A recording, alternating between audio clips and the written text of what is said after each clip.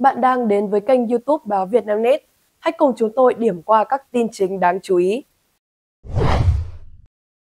Ngoại trưởng Israel Israel Katz cho biết, ông đã chỉ đạo thực hiện các thủ tục pháp lý đối với Tổng thống Pháp Emmanuel Macron vì việc Paris cấm các công ty Israel tham gia một triển lãm thương mại hải quân sắp diễn ra. Quyết định cấm các công ty của Israel tham gia sự kiện là mâu thuẫn mới nhất trong hàng loạt vụ việc căng thẳng giữa hai bên vì chiến dịch tấn công của Israel vào giải Gaza và Liban. Euronaval, đơn vị tổ chức triển lãm từ ngày 4 đến ngày 7 tháng 11 tại Paris cho biết trong tuyên bố đưa ra trước đó rằng chính phủ Pháp đã thông báo việc các đoàn Israel tham gia nhưng không được phép trưng bày gian hàng tại sự kiện. Quyết định này ảnh hưởng đến 7 công ty của Israel. Ngoại trưởng Kass viết trong tuyên bố đăng trên mạng xã hội X vào ngày 20 tháng 10. Tôi đã chỉ đạo Bộ Ngoại giao thực hiện hành động pháp lý và ngoại giao chống lại Tổng thống Pháp vì quyết định ngăn cản các công ty Israel trưng bày sản phẩm của họ tại triển lãm Salon Euronaval ở Paris vào tháng tới. Ông Khát viết tiếp, việc tẩy chay các công ty Israel lần thứ hai hoặc áp đặt điều kiện không thể chấp nhận được là hành động phi dân chủ, không thể chấp nhận giữa các quốc gia hữu nghị. Tôi kêu gọi Tổng thống Pháp Macron hủy bỏ hoàn toàn hành động này. Mâu thuẫn giữa Thủ tướng Israel Benjamin Netanyahu và Tổng thống Pháp Emmanuel Macron đã trở nên trầm trọng từ khi Paris phối hợp với Washington dàn xếp lệnh ngừng bắn trong 21 ngày ở Liban, mở đường cho tiến trình đàm phán nhằm đạt được giải pháp ngoại giao lâu dài giữa Israel và lực lượng Hezbollah.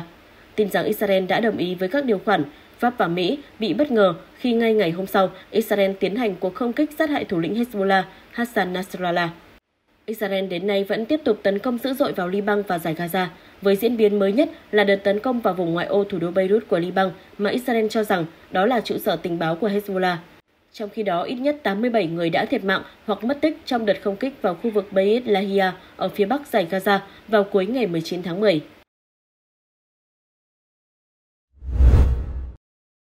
Các video lan truyền trên mạng xã hội cho thấy toàn bộ một tòa nhà ở Dahieh, phía nam thủ đô Beirut của Liban, đã đổ sập sau một cuộc không kích của Israel. Theo hãng tin BBC, quân đội Israel trước đó cảnh báo cư dân 24 khu vực ở Liban, trong đó có 14 địa điểm ở thủ đô Beirut rằng họ có kế hoạch tiến hành không kích trong những giờ tới và suốt đêm. Lực lượng phòng vệ Israel IDF cho hay sẽ nhắm mục tiêu vào các ngân hàng và cơ sở hạ tầng tài chính hỗ trợ cho nhóm vũ trang Hezbollah.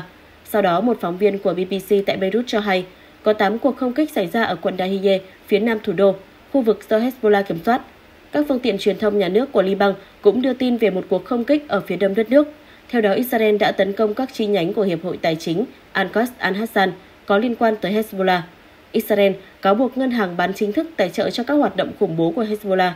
Theo thông tấn xã quốc gia Liban NNA, một cuộc không kích của Israel đã xảy ra gần sân bay duy nhất của nước này ở Beirut, song các máy bay thương mại vẫn bay qua những đám khói trong khu vực và sân bay vẫn hoạt động bình thường. Trong khi đó, Hezbollah cho hay nhóm này đã bắn khoảng 200 quả rocket về phía bắc Israel. Vụ tấn công gây hư hại, song không có ai thương vong. Trước đó, cũng trong ngày 20 tháng 10, lực lượng lâm thời của Liên Hợp Quốc tại Liban UNIFIL đã cáo buộc IDF cố tình phá hủy một tháp quan sát và hàng rào bao quanh một vị trí của cơ quan này tại thị trấn Mawahin, miền nam của Liban, trên biên giới với Israel. Sự việc trên diễn ra sau những vụ việc tương tự trong những tuần gần đây. Thưa quý vị, ngày 19 tháng 10, Ngoại trưởng Thổ Nhĩ Kỳ Hakan Fidan cho biết các cuộc tấn công của Israel vào Liban và Gaza đã buộc Iran phải thực hiện các hành động chính đáng. Phát biểu của ông Fidan ngụ ý bày tỏ sự ủng hộ đối với cuộc tấn công bằng tên lửa của Tehran nhằm vào Israel. Phát biểu trong cuộc họp báo chung ở Istanbul với người đồng cấp Iran Abbas Arachi, Ngoại trưởng Hakan Fidan nói, quan điểm hung hăng của Israel đã buộc Iran phải thực hiện các bước đi chính đáng. Liên quan đến chiến sự trên thực địa, Hezbollah cho biết đã phóng rocket vào một căn cứ quân sự gần thành phố Haifa, miền Bắc Israel trong ngày 19 tháng 10. Hezbollah đã đe dọa tăng cường các cuộc tấn công vào Israel trong suốt nhiều tuần khi một cuộc chiến toàn diện nổ ra vào ngày 23 tháng 9. Cùng ngày, lãnh tụ tối cao Iran Ali Khamenei tuyên bố cái chết của thủ lĩnh Hamas Yahya Sinwar sẽ không ngăn cản được trục kháng chiến và Hamas sẽ tiếp tục tồn tại. Trong một tuyên bố, ông Khamenei nhấn mạnh sự ra đi của ông ấy chắc chắn là nỗi đau đối với trục kháng chiến, nhưng mặt trận này không ngừng tiến lên dù có sự hy sinh của các nhân vật nổi bật. Hamas vẫn còn sống và sẽ tiếp tục tồn tại. Sinwar, người bị cáo buộc đứng sau cuộc tấn công của Hamas vào Israel ngày 7 tháng 10 năm ngoái, sự kiện châm ngòi cho cuộc chiến ở giải Gaza, đã bị sát hại vào ngày 16 tháng 10 trong một cuộc đấu súng với lực lượng Israel sau một năm truy lùng, và cái chết của ông này được công bố một ngày sau đó. Lãnh tụ tối cao Iran khẳng định Ông ấy là gương mặt sáng chói của kháng chiến và đấu tranh. Với quyết tâm sắt đá, ông ấy đã đứng lên chống lại kẻ thù áp bức và xâm lược. Với sự khôn ngoan và can đảm, ông ấy đã giáng cho chúng một đòn không thể hàn gắn vào ngày 7 tháng 10, một sự kiện được ghi vào lịch sử của khu vực. Trục kháng chiến được xây dựng qua nhiều năm với sự hỗ trợ của Iran, bao gồm Hamas, nhóm Hezbollah ở Liban, phong trào Houthi ở Yemen và các nhóm Hồi giáo dòng CIA ở Iraq và Syria. Các nhóm này tự nhận mình là lực lượng kháng chiến chống lại Israel và ảnh hưởng của Mỹ ở Trung Đông. Ông Khamenei tuyên bố, như mọi khi chúng ta sẽ luôn sát cánh cùng những chiến binh và chiến sĩ chân thành với ân sủng và sự giúp đỡ của Chúa.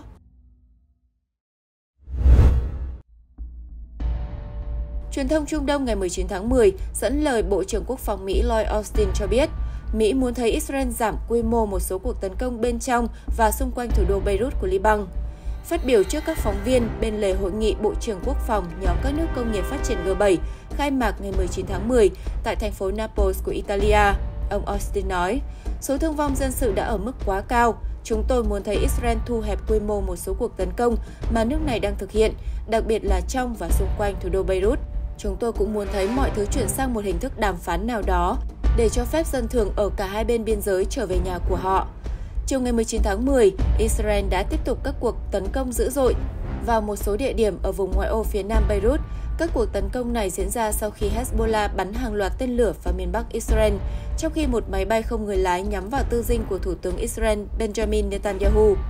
Cùng ngày, quân đội Israel cho biết lực lượng không quân của họ đã tấn công các kho vũ khí và một trung tâm tình báo của Hezbollah tại khu vực thành trì của lực lượng này ở vùng ngoại ô phía nam thủ đô Beirut. Theo mô tả của quân đội Israel, các cơ sở trên của Hezbollah đều nằm dưới một đường hầm. Quân đội Israel cũng tìm thấy hàng chục vũ khí và thiết bị thuộc về Hezbollah ngay cạnh đường hầm này.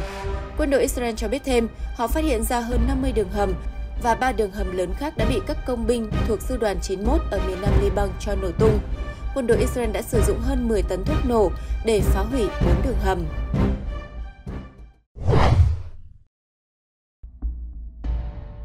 Việc tiêu diệt thủ lĩnh Hamas Yahya Sinwar được xem là chiến thắng lớn cho Israel.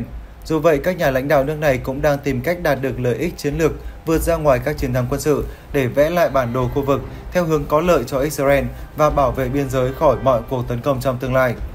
Reuters dẫn nguồn thông tin cho hay, Israel đang đẩy nhanh việc gây tổn thất tối đa cho phong trào Hamas tại Gaza và nhóm vũ trang Hezbollah ở Liban, nắm bắt thời cơ để thiết lập các vùng đệm ở biên giới và tạo ra tình thế không thể đảo ngược trước một tổng thống mới của Mỹ lên nắm quyền vào tháng 1 năm 2025. Theo các nhà ngoại giao phương Tây, các quan chức tại Liban và Israel cùng các nguồn tin khác trong khu vực, bằng cách tăng cường các hoạt động quân sự chống lại Hezbollah và Hamas, Israel muốn tạo ra đảm bảo rằng kẻ thù của nước này trong khu vực sẽ không thể tập hợp lại và đe dọa công dân Israel một lần nữa. Tổng thống Mỹ đương nhiệm Joe Biden được cho là sẽ tận dụng sự ra đi của thủ lĩnh Hamas để gây áp lực lên Thủ tướng Israel Benjamin Netanyahu chấm dứt cuộc xung đột ở Gaza. Dù vậy, nhà lãnh đạo Israel có thể chờ cho nhiệm kỳ của ông Biden kết thúc để bắt tay với nhà lãnh đạo mới của nước Mỹ. Dù cho đó là ứng cử viên của Đảng Dân Chủ, Phó Tổng thống đương nhiệm Kamala Harris hay ứng cử viên của Đảng Cộng Hòa, cựu Tổng thống Donald Trump. Trước khi cân nhắc bất kỳ thỏa thuận ngừng bắn nào, Israel sẽ tăng cường các chiến dịch quân sự nhằm đẩy Hezbollah ra xa khỏi khu vực biên giới phía Bắc, trong khi tiếp tục tiến sâu vào khu trại tị nạn Jabalia ở Gaza. Israel cũng đang lên kế hoạch đáp trả các cuộc tập kích tên lửa đạn đạo của Iran đêm mùng 1 tháng 10.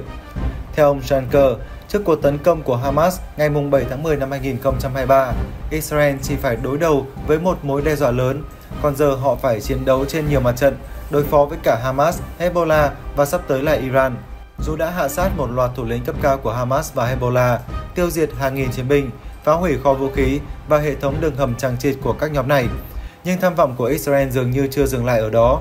Hiện tại Thủ tướng Netanyahu dường như quyết tâm vẽ lại bản đồ xung quanh Israel theo hướng có lợi hơn cho mình bằng cách loại bỏ thù khỏi biên giới của nước này.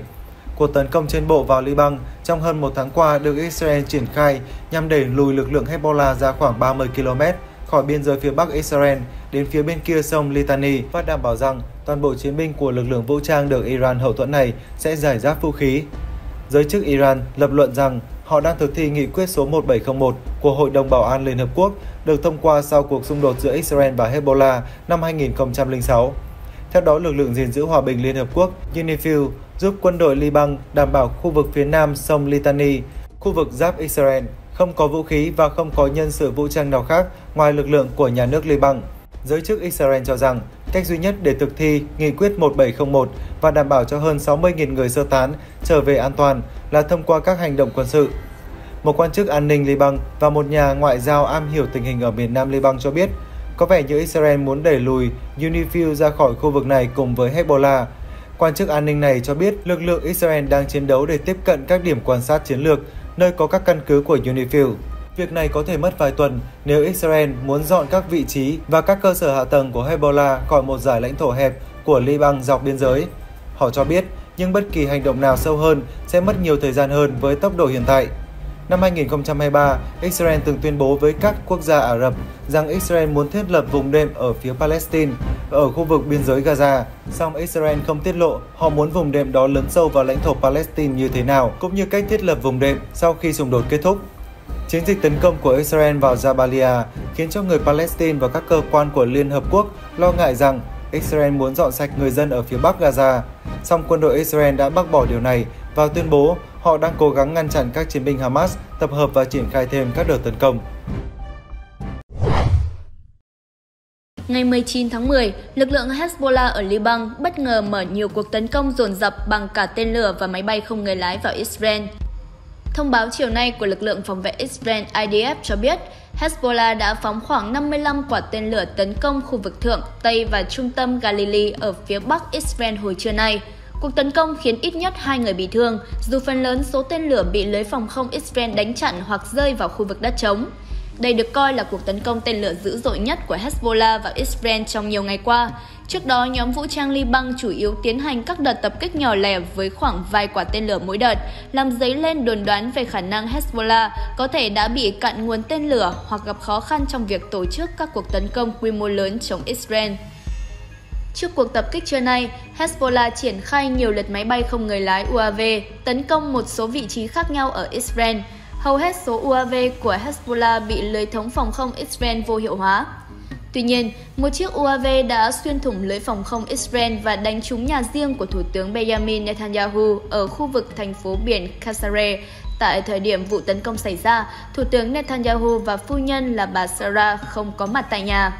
Vụ việc đã được văn phòng Thủ tướng Israel xác nhận. Còn tại Liban, Bộ Y tế nước này thông báo có hai người thiệt mạng trong cuộc không kích hồi sáng nay của không quân Israel vào khu vực Yonie ở phía bắc thủ đô Beirut. Đây là lần đầu tiên mạn bắc thủ đô Beirut bị tấn công kể từ khi Israel phát động chiến dịch không kích quy mô lớn vào Liban sáng sớm ngày 23 tháng 9. Trước đó, không quân Israel chủ yếu dồn hỏa lực đánh phá ngoài ô phía nam thủ đô Beirut, khu vực được coi là đại bản doanh của Hezbollah ở Liban. Các nhà lãnh đạo nhóm bộ tứ gồm Mỹ, Anh, Đức và Pháp ngày 18 tháng 10 đã họp nhóm thượng đỉnh tại Đức. Các bên nhất trí duy trì sự ủng hộ Ukraine và kêu gọi ngừng bắn ở Trung Đông.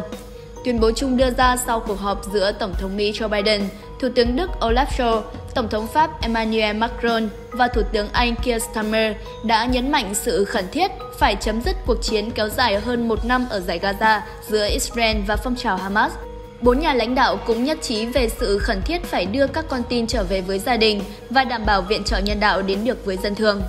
Các bên cũng trao đổi ý kiến về tình hình xung đột ở Liban, nơi Israel đang giao tranh với phong trào Hezbollah, đồng thời tái khẳng định lập trường, chỉ trích vụ tập kích tên lửa của Iran vào Israel hôm 1 tháng 10. Phát biểu tại buổi họp báo, Thủ tướng Anh Keir Starmer nhấn mạnh, tôi vừa có một cuộc họp rất hiệu quả với Tổng thống Biden, Thủ tướng Scholz và Tổng thống Macron – Chúng tôi tập trung vào hai vấn đề. Thứ nhất, tình hình ở Trung Đông. Bây giờ chúng ta phải tận dụng tối đa thời điểm này. Điều cần thiết bây giờ là ngừng bắn ở Gaza, thả ngay lập tức và vô điều kiện tất cả các con tin, tiếp cận ngay lập tức viện trợ nhân đạo và quay trở lại con đường hướng tới giải pháp hai nhà nước như là cách duy nhất để mang lại hòa bình và an ninh lâu dài. Xung đột bùng phát ở giải Gaza sau khi lực lượng Hamas bất ngờ tấn công miền nam Israel hôm 7 tháng 10 năm 2023 đã khiến khoảng 1.200 người thiệt mạng và bắt cóc hơn 200 con tin. Chiến dịch đáp trả của Israel đến nay cũng đã khiến ít nhất 42.500 người ở Gaza thiệt mạng, đồng thời tạo ra một cuộc khủng hoảng nhân đạo ở vùng đất đầy sóng gió này. Cuộc xung đột Gaza cũng là nguyên nhân khiến chiến tranh có thể lan rộng ở khu vực Trung Đông. Ngoài tình hình Trung Đông, nhóm bộ tứ cũng tái khẳng định duy trì sự ủng hộ đối với Ukraine. Tuy nhiên, Thủ tướng Đức khẳng định dù hỗ trợ Ukraine, song tổ chức Hiệp ước Bắc Đại Tây Dương NATO không được trở thành một bên tham chiến. Trong khi Tổng thống Mỹ Joe Biden tiếp tục khẳng định không ủng hộ việc cung cấp vũ khí từ xa cho Ukraine để tấn công lãnh thổ Nga. Phát biểu trước báo giới khi rời Đức, Tổng thống Mỹ nhấn mạnh, chúng tôi sẽ sát cánh cùng Ukraine, chúng tôi sẽ đảm bảo rằng họ tiếp tục có năng lực để chiến đấu. Tuy nhiên, trong chính sách đối ngoại, hiện tại chúng tôi không có sự đồng thuận nào về việc cấp vũ khí tầm xa cho Ukraine tấn công lãnh thổ Nga. Mặc dù tài trợ hàng tỷ đô la vũ khí cho Ukraine, song đến nay vẫn còn nhiều tranh cãi xung quanh việc các nước phương Tây có nên cho phép Kiev sử dụng vũ khí viện trợ để tấn công lãnh thổ Nga hay không. Có không ít quốc gia phản đối do lo ngại điều này có thể kéo họ đến gần xung đột trực tiếp với Nga. Trước đó, Tổng thống Nga Putin đã nhiều lần cảnh báo các thành viên NATO phải nhận thức được những gì họ đang đùa giỡn khi thảo luận về những kế hoạch cho phép Kiev tấn công sâu vào lãnh thổ Nga bằng vũ khí do phương Tây cung cấp. Theo Tổng thống Nga Vladimir Putin, phương Tây sẽ xung đột trực tiếp với Nga nếu bật đèn xanh cho Ukraine dùng vũ khí tầm xa tấn công Nga. Phần tin vừa rồi cũng đã kết thúc bản tin quốc tế của báo Vietnamnet. Xin kính chào tạm biệt và hẹn gặp lại!